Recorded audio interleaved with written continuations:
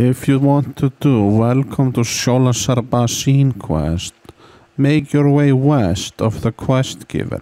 Follow the road and the torches.